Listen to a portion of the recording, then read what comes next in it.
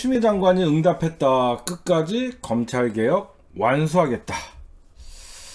네, 추미애 장관님 검사 사표 받으라 국민청원에 검찰개혁 완수하겠다라고 하면서 법원 내부 통신망에 이렇게 밝혔습니다.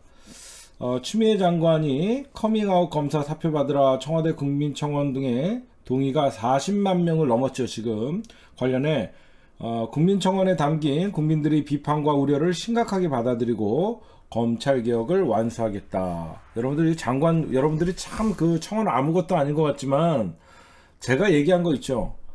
장관에게 말할 수 있는 기회를 줄 수 있다. 공식적으로. 이게 왜 중요하냐. 우리가 청원을 하지 않으면 우리가 이 청원을 100만 명을 만들지 않으면 어떤 현상이 일어나냐면 추미애 장관 대 평검사의 싸움이 돼요. 그렇죠? 절대 이러면 안 돼요. 추미애 장관 대 평검사들의 댓글 싸움하고 있잖아. 그러면 어떻게 해요? 윤석열이 숨는 거예요. 윤석열이 보이지가 않아. 그렇죠? 근데 추미애 장관이 검찰개혁 끝까지 완수하겠다라고 하면서 윤석열 총장이 검찰총장이 정치적 중립을 훼손하고 있다. 분명히 밝혔어요. 검찰총장이라는 말을 분명히 쓰고 정치적 중립성을 검찰총장이 훼, 어, 훼손하고 있다. 여러분들 제가 이런 말씀 드렸죠. 어? 제가 얘기한 거 딱딱 맞아, 떨어졌죠. 그렇죠? 우리가 추미애 장관한테 말할 수 있는 기회를 줘야 된다. 제가 얘기한 대로 가고 있잖아요. 굉장히 중요한 거예요, 이게. 응? 왜 그러냐면 윤석열이는 지금 감찰 대상이에요. 윤석열은 대검, 대검 감찰부와 법무부 감찰부가 공동으로 옵티머스 사건부터 해갖고 윤석열 처가의 사건들을 들여다보고 있으면 윤석열은 조만간 피의자 신분으로 바뀔 수가 있는 거예요. 근데 윤석열이는 쏙 빠지고 검사 대 추미애 싸움이 되면 어떠냐? 추미애 장관이 모든 검사와 싸움을 해야 되는 거예요. 그래서 추미애 장관이 오늘도 분명하게 밝히죠. 일부 특수부 출신의 검사, 그리고 일부 정치 검사라는 표현을 정확히 쓰셨죠. 그쵸? 보셨죠? 일부 특수부, 어, 많은 일선 검사들과 같이 저, 어, 검찰 개혁을 하겠다. 이게 핵심인 거예요. 제가 몇, 며칠 동안 굉장한 주제, 주장을 해줘, 해드렸죠. 오늘 추미애 장관이 입장을 뭐라 그랬냐? 정치 지향적 특수부 검사들과 대다수 일선 검사들을 분리하여서 보아야 한다. 분명히 글을 썼어요. 대다수 일선 검사들을 분리해서 봐야 되고 자기 임무에 충실한 일선 검사들이 개혁의 주체로 결코 반대하지 않는다는 점. 이게 무슨 말이냐면 일부 정치지라는 검사들이 지금 댓글을 쓰고 같이 비판을 하고 있지 묵묵히 일선 검사들은 지금 검찰은 개혁을 해야 된다. 그러니까 오히려 추미애 장관은 개혁 검찰들과 정치 검찰들과의 싸움을 붙이는 거예요. 굉장히 중요한 것이죠. 추미애 장관이 이 정도까지 나오고 국민들의 여러와 같은 검찰 사표를 받으라는 것은 개혁을 원하는 일선 검사들도 많죠. 여러분들 알고 있는 임은정 검사, 진혜원 검사, 그렇죠? 서지영 검사 엄청나게 많잖아요. 당연히 추미애 장관은 일선 검사들을 개혁의 주체로 만들어서 결국 결코 정치질을 하고 정치 노름을 했던 윤석열 사단 누구에게 줄을 서면 출세하고 누구에게 밑보이면 좌천되고 그런 기존에 사실상 검찰의 인사를 누가 했습니까? 검찰총장이 했잖아요. 그렇죠? 여태까지 검찰이 검찰총장이 모든 검찰의 인, 인사를 했잖아요. 근데 어때요? 검찰이 왜 이렇게 저렇게 윤석열과 그 윤석열 패거리들을 왜 지랄해요? 여태까지 묵시적으로 검찰의 인사를 법무부 장관이 인사권을 갖고 있음에도 불구하고 실질적으로 검찰총장이 인사권을 휘둘렀다가 비검찰 출신의 문재인 정부의 장관들이 들어오니까 자기 마음대로 검찰총장의 입맛에 맞는 검찰 인사를 할 수밖에 인사를 못 하니까 거기서부터 윤석열 총장은 불만이 쌓여갔고 추미애 장관이 당연히 인사권자로서 거, 형사부와 공판부 중심의 검찰 인상을 단행하다 보니까 여태까지 일선에서 묵묵히 열심히 일하던 검사들을 등용 중용시키고 정치질하던 특수부 검사들 일부를 전부 원대에 복귀시키는 이런 일들을 했다니까 결국은 자기네들이 인사권을 월권이죠. 검찰총장이 인사권이 있습니까? 인사권의 의견을 제소할 수 있는 것이지 진짜 인사권은 검찰총장이 없죠. 그쵸? 검찰은요 스스로가 정의의 수호자라고 하면서요 법 자체를 검찰이 지키지 않아요. 자기네들은 법 위에 있는 자들이에요. 그래서 그 누구도 검찰총장에게 인사권을 준 적이 없습니다. 그러나 늘 검찰총장 니콜 법무부 장관은 자기 선배일 뿐이에요. 그래서 어 이번에 검찰 인사 어떻게 되지? 그럼 선배님 이렇게 검찰을 인사를 해 주십시오. 어 그래 사인해. 이렇게 됐던 거예요. 그렇죠? 그러니까 여러분들이 보시면요. 우리가 강조한 게 있죠. 오늘 추미애 장관이 이런 말씀을 하셨어요.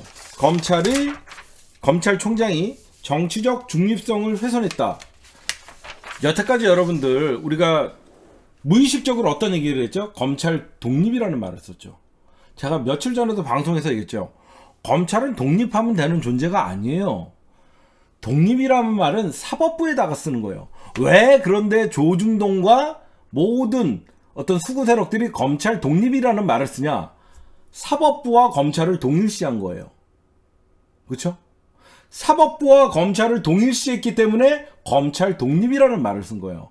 검찰은 독립적인 존재가 아니라 행정부의 외청으로서 검찰은 공무원이고 검찰은 중립을 지켜야 되는 거예요.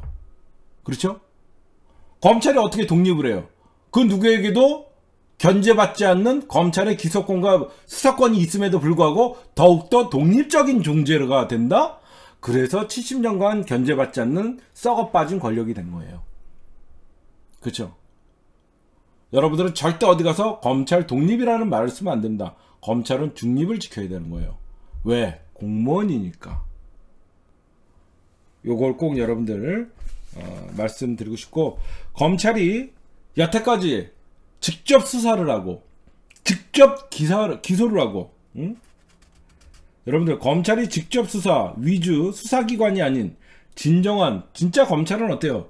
오히려 경찰이 수사한 거 그래서 우리가 검, 경찰과 검찰은 수사권과 기소권을 분리해야 된다 그러죠. 왜 그러냐면요. 경찰이 오히려 과잉 수사, 수사를 하지 않았나. 경찰은 수사기관이죠. 그쵸? 경찰들은 여러분들 뭐예요? 수사기관이에요. 즉 무슨 말이냐? 경찰은 법률가가 아니에요. 여러분들이 꼭 생각해야 되는 게 왜 수사권과 기소권이 분리해야 되냐면요.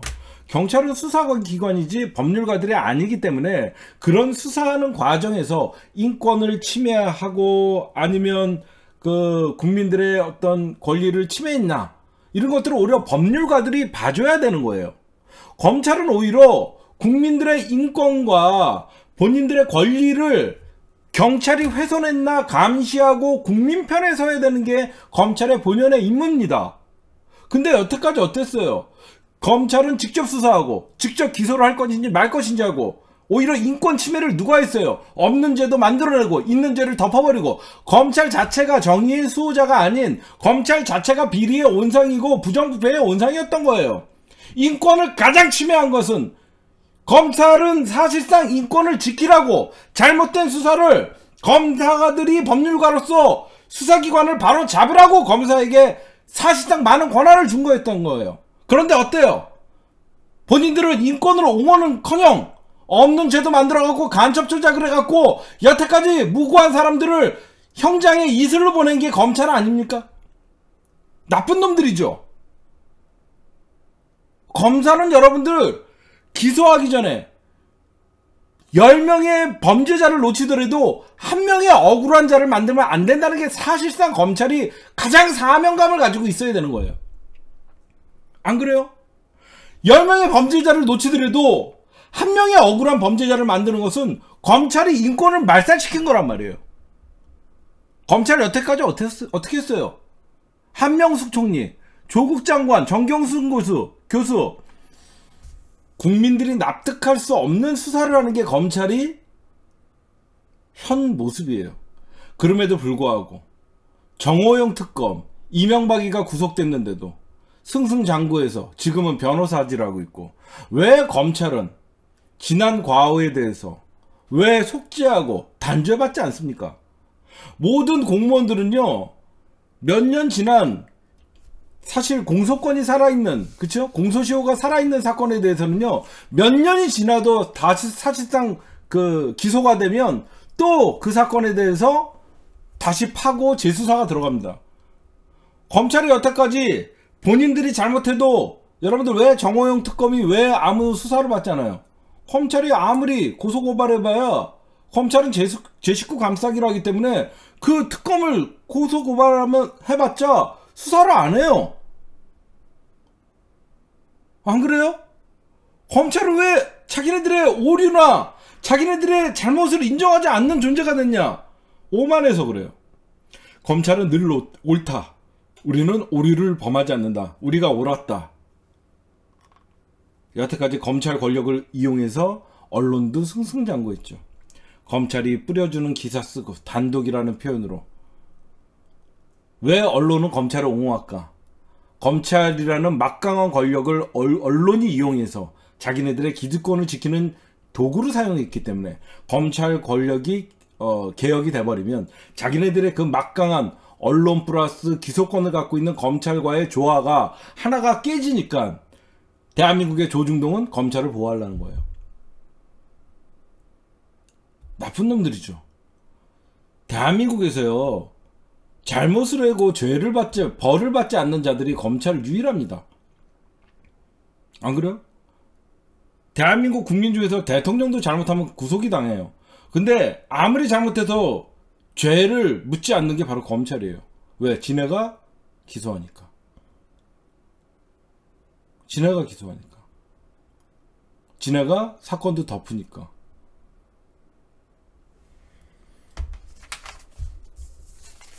그리고 그 추미애 장관 제가 취재한 거를 좀 말씀드릴게요. 추미애 장관이 되게 힘든 시기죠. 그쵸?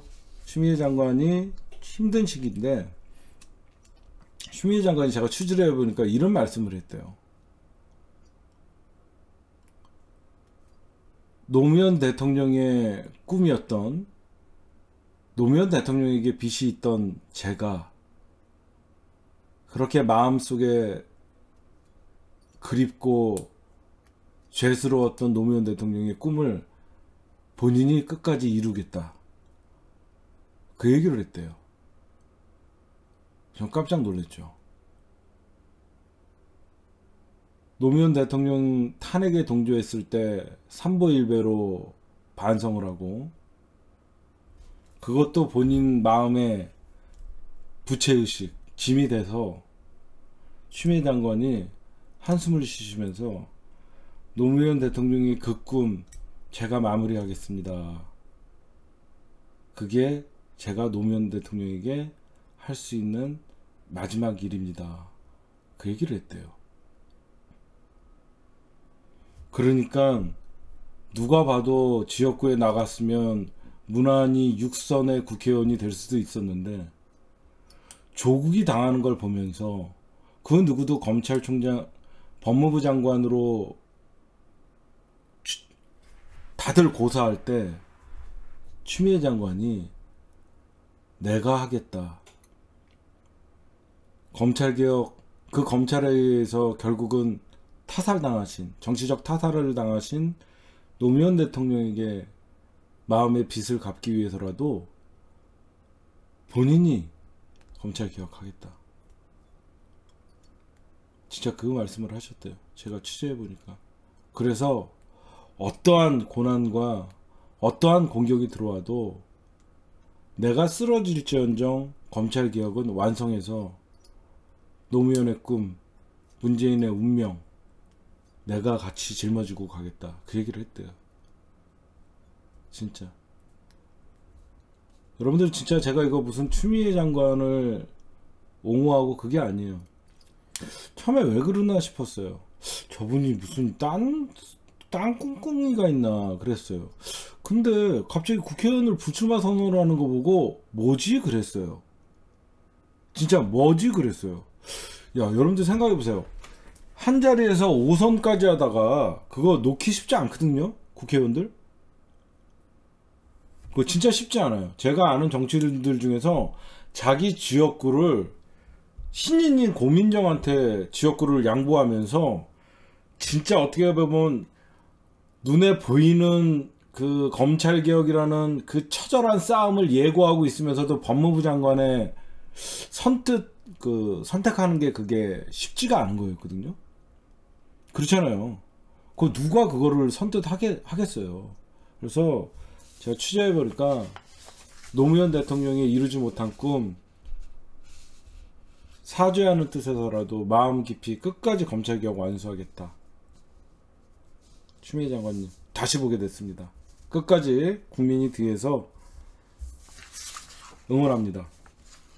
검찰개혁 절대 포기하지 마십시오. 추미애는 검찰개혁 하나만 해도 대권 후보 됩니다. 제가 분명히 말씀드립니다. 그 누구도 해내지 못한 검찰개혁 지금 이재명, 이낙연 양강 체제지만 추미애 장관이 공수처 출범시키고 내년 1월에 검찰 또다시 인사로 싹을 잘라버리고 검찰개혁 완수 하나만 해도 추미애 장관은 대권 후보예요. 진짜 추미애 장관이 아들 문제로 30만 건의 기사 폭탄을 맞고 오히려 흔들리지 않고 세게 검찰과 맞서는 모습을 보면서 속이 다 시원했어요. 안 그래요? 여태까지 속이 다 시원했어요. 어? 진짜 오선의 관록도 보였고 추미애 장관이 진짜 저는 검찰 개혁 하나만 해도 진짜 우리 민주진영에서 박수 쳐줄 거예요. 그 누구도 해내지 못한 검찰 개혁, 어? 검경 수사권 조정, 거기에다가 공수처 설치, 저항하는 검사들 사표 다 받아버리고, 어? 진짜 과거에 조국 장관 그리고 문재인 대통령 그 당시에 더 검찰 개혁이라는 토크 콘서트에서 얘기했듯이 국민의 저는 우리 추미애 장관 대단한 게 이 실시간으로 이 청원을 보시고 계신 거잖아요. 실시간으로 얼마나 힘이 됐겠어요. 얼마나 기분이 좋고 얼마나 힘이 났겠어요. 아, 내 뒤에는 촛불 국민이 있구나. 아니나 다를까 40만 명이 돌파하는 시점에 어? 검사 사표 받으라 국민청원에 검찰개혁 완수하겠다. 얼마나 보고 계셨을 거예요. 응? 실시간으로 얼마나 계속 응? 리셋하면서 바뀌었어요. 그래서 여러분들이 결국은 우리가 조국 장관님 지켜냈듯이 저는 여러분들이 조국 장관님 지금 지켜냈다고 생각해요. 여러분들 없었으면 조국 장관님은요 저렇게 자신감 있게 지금 조국 장관님은 검찰 개혁을 넘어서 언론 개혁까지 하고 계시잖아요. 그렇죠? 언론 개혁의 선봉장은 지금 누가 말해도 조국 장관이에요. 어? 저는 조금 아쉬운 거는 조국 장관이 이렇게 자신감 얻기 전에 본인이 법무부 장관 할 때 검찰이 저렇게 대놓고 덤빌 때 지금같이 싸웠다 그러면 조국 장관과 그의 가족들은 그렇게 당하지 않았어요. 너무나 점잖으시고 인격이 너무나 높으신 분이기 때문에 자기가 법무부 장관이지만 검찰이 아무리 양아치 짓을 해도 나는 끼어들지 않겠다라고 했다가 오히려 당했어요. 그런 모든 모습을 보던 추미애 장관은 검찰이 하나하나 잘못할 때마다 감찰권 너무 통쾌하지 않아요?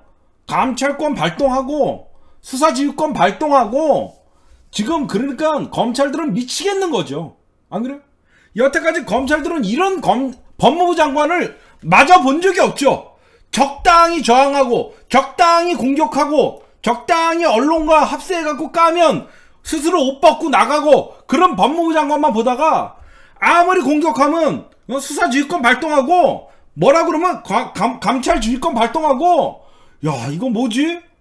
저런 법무부 장관의 부하가 아닙니다. 이런 개소리나 하고 앉아있고 그만큼 검찰이 사실상 막다른 골목에 왔다는 거죠.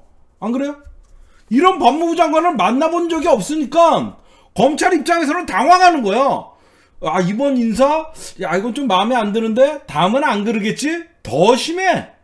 더 제대로 검찰 개혁을 해서 인사를 하고 야 이번 왜 그러지? 이번에 아 설마 우리 총장님을 어?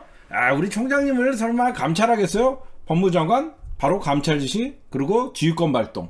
응? 지금 검찰 전체가 즉 검찰 전체가 아니라 정치 검찰질 하던 놈들 윤석열 옆에서 따까리짓 하던 놈들은 전부 모든 덮었던 사건에 다 개입돼 있죠. 여러분들이 봐도 윤석열이 덮었던 사건에 윤석열 사단들 다 덮여 있잖아요. 옵티머스 누가 덮었어요? 서울중앙지검 때 윤석열이 덮은 거 아니에요? 그 밑에 검사들 다 있었잖아요. 어? 이런 사건을 다시 들추자고 하니까 얼마나 아파요. 그러니까 윤석열이 급해갖고 어때요? 감찰 받는 중에도 야 야 큰일 났다 동훈아 동훈아 내가 한 내일 모레 그 진천을 갈게 네가 애들 좀 모아갖고 우리는 법무부 장관의 부하가 아닙니다 좀 네가 좀 독려하고 우리가 좀 이렇게 으쌰으쌰 해갖고 지금 좀 어? 어 우리가 좀 어, 싸워라도 봐야지 어? 이지랄 하는 거야 그래갖고 오늘은 한동훈 만나고 어제는 이복현 만나고 제가 그럴 때예요 응? 윤석열이는 지금 자성하, 자숙하고 자성할 때예요 감찰 결과가 발표되면 어떻게 돼요? 윤석열 초와 장모 사건에 윤석열이 개입이 안 돼 있을 것 같아요? 윤석열이 개입돼 있으면 어떻게 해요? 검찰은 당연히 기소 의견으로 윤석열 총장의 직무를 정지시키고 감찰부에서 윤석열 기소하면요 기소당한 검찰총장이에요. 검찰이 기소당했는데 무슨 검찰총장으로서 그 자리를 유지할 수 있어요? 말도 안 되는 거죠. 어?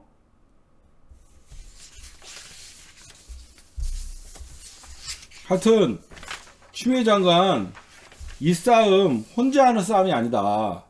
우리 추 장관님 제 방송 보시면 촛불 국민 천만의 조국이 추 장관님과 함께 싸우고 있다. 절대 지치지 말라.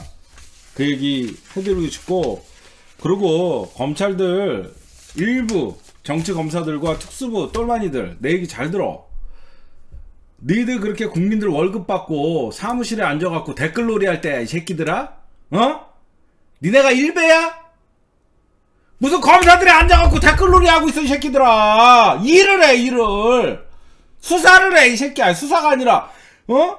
검사질을 해야지 이 새끼들아 왜 앉아갖고 댓글놀이를 하고 앉아있어 일배야? 어? 어디서 본 건 있어갖고 우리가 이완우다 야, 그거 우리가 썼던 거야. 우리가 조국이다. 어디서 촛불 집회로 나와서 구경을 했니? 어? 무슨 검사 새끼들이 앉아갖고, 씨, 그 우리가 이완우다. 우리가 쪽팔리지도 않아? 검사들 댓글놀이 안 부끄럽냐?